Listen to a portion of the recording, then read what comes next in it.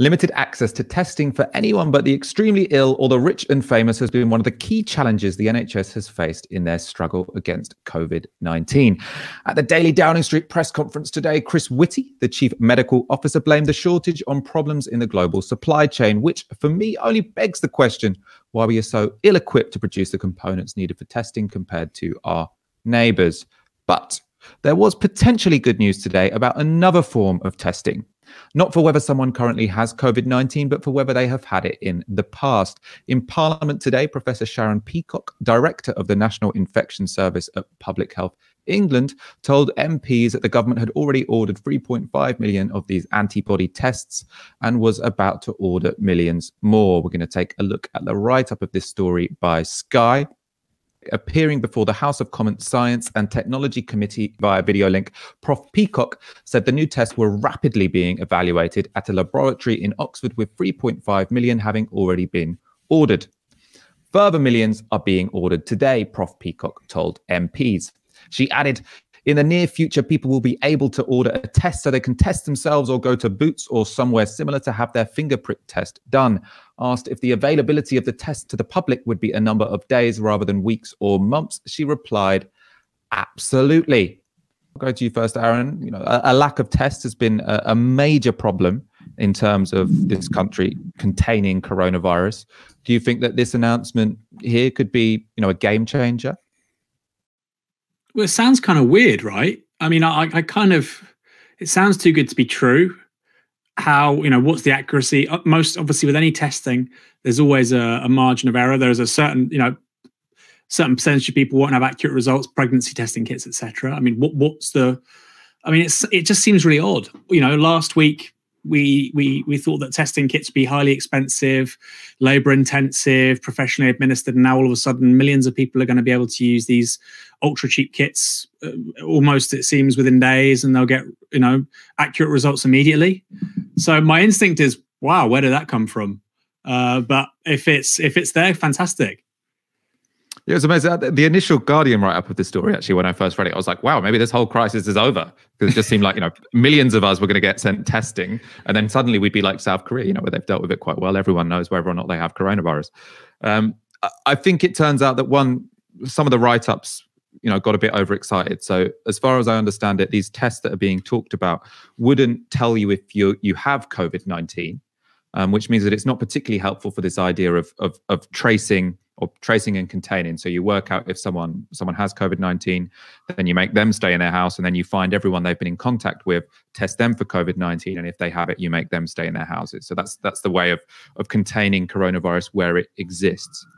This would be an antibody test. So what that tells you is not whether you have COVID nineteen, but whether you've had it in the past, and it tests you for that by finding out whether you have um, what the antibodies that would that are capable of attacking, whether you whether you have immunity to COVID nineteen fundamentally. And this is important for for a couple of reasons. One, it would you know it, it would help our economy start moving and help you know all, many of the ordinary aspects of society continue because many people might find out they've already had COVID 19, many people without realizing. And that means they're no longer vulnerable to it for at least a while. As we've talked about on the show before, it's, it's unclear how long that immunity will last. Mm. Um, but that would be a game changer, especially for the NHS, because at the moment you've got NHS workers who are taking time off.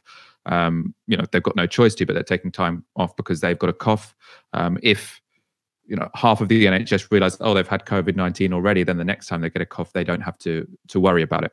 The other thing it can do, and this is what um, the chief scientific advisor Patrick Vallance seemed very excited about at today's Downing Street press conference, was that you can, if if you sort of take a random sample of the public and give them this test, you can work out how widespread COVID nineteen was in the population. That's helpful for your modelling to work out how how close to the peak um, you are, or if you're already over it. Um, Ash, any thoughts on this mass testing? Potentially, it's going to be going out via Amazon through 3.5 million people's doors?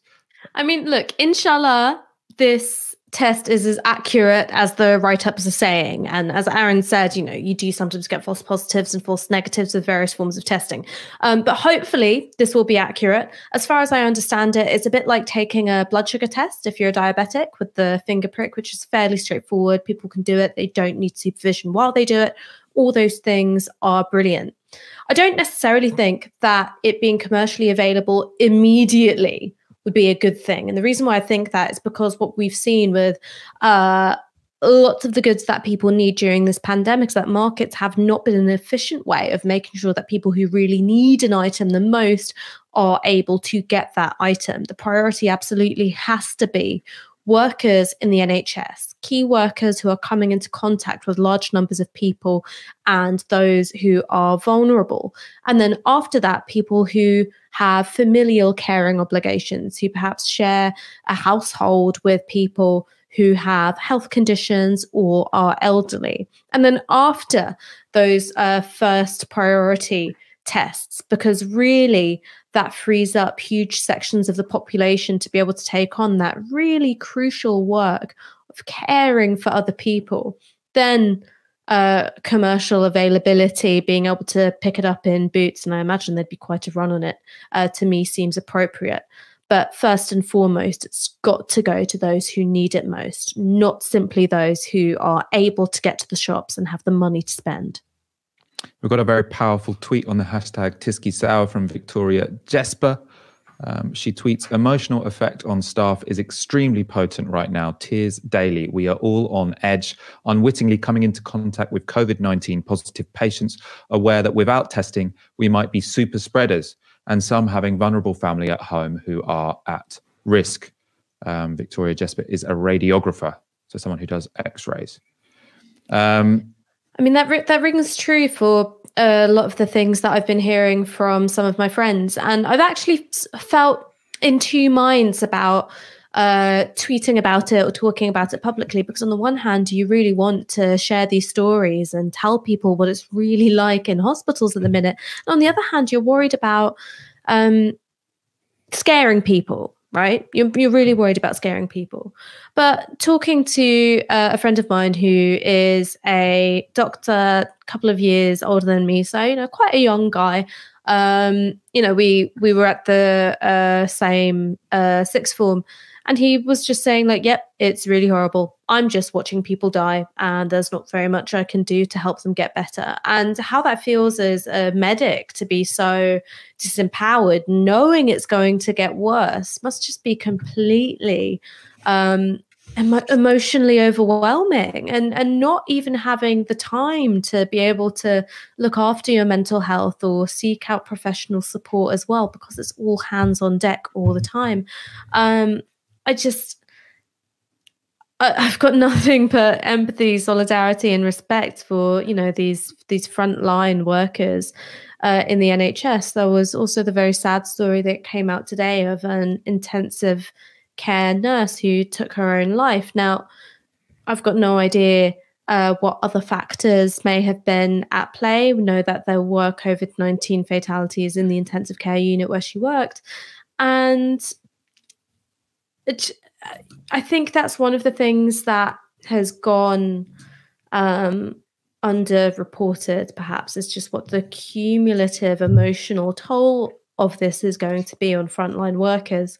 And the fact that there are elements of that stress, particularly around things like personal protective equipment not being available, testing not being available, which are being actively worsened by uh, the government's policy failures and that's why I'm not going to shut up about holding the government to account over these things because there's a human cost to it and it was avoidable. I suppose on, a much less profound level, I was thinking today about what the emotional reaction is going to be to to these antibody results if they do become, you know, available en masse. And I was thinking on, on one level, if you get the positive results, so if it says that you've had COVID nineteen, you're like, yes, I've hit the jackpot, um, because that means that you no longer have to either worry about getting it or giving it to someone else. You can fundamentally live your life almost as as usual. Um, but then the the other the flip side of that is going to be how many people did I give it to? Because if you know that you've had COVID nineteen and you don't know when you had it, no, like no one's going to have any idea whether they're. I mean, it's a horrible phrase anyway, isn't it? But no one's going to know if they were a super spreader or or, or not because we've got no idea. Um, I suppose because of the lack of testing from the start of this this crisis, we've got no idea who who's the pattern of, of how this disease has been spread. Well, not much. Yeah, I just wanted to say there's there's two things. There was an article in the Guardian today with Nouriel Roubini.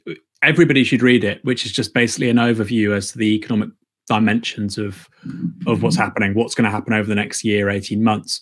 And then he he speculates about something which is quite um, plausible, which is that we get on top of this before the end of the year by winter, let's say by autumn, because of commercial uh, testing like this, commercially available testing like this, and we can begin to return back to normal quite slowly, uh, take it step by step but there would be some mutations, and that you might get mutations uh, becoming more of a problem during the traditional flu season of 2020, 2021.